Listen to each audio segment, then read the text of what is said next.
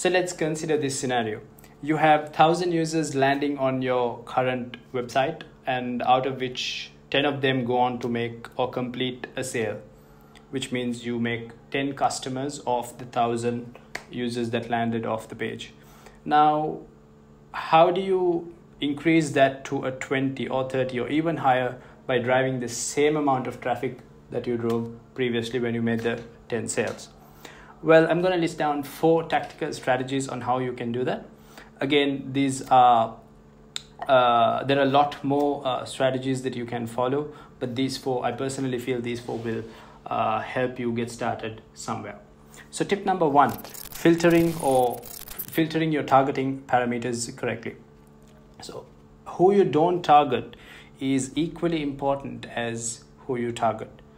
Let's say, for example, you're selling a pair of AirPods and you're going after iPhone users only as your target audience. And this can have a higher conversion rate as opposed to targeting those who are on the lookout for uh, earphones in general. Tip number two UI UX optimization.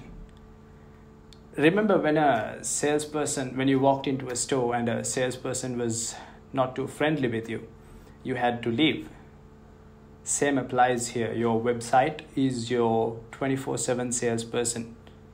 And if you have users leaving without making an action on site, meaning your bounce rate is high, then there is definitely a problem and you need to fix that. You need to make that salesperson a lot more friendlier. Tip number three responsive design. Users today stream from multiple sources of content and devices um, from be it mobile, desktop, then you have tablets, smart TVs.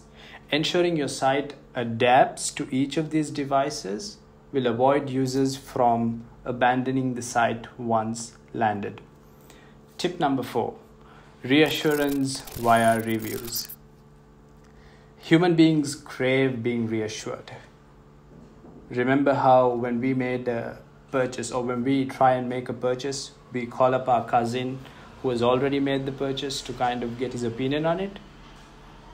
Well, placing customer reviews at key stages of the purchase journey can help assure the customer that they're making the right choice. A Forbes research recently concluded that 67% of customers are influenced by online reviews.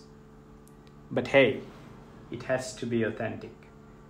Today, customers sniff fakeism from a mile away. So, to quickly summarize the few tips or the four tips that we discussed one, filtering your target audience, two, UI UX optimization, three, ensuring your site has responsive design to the various devices, and four, reassurance via reviews.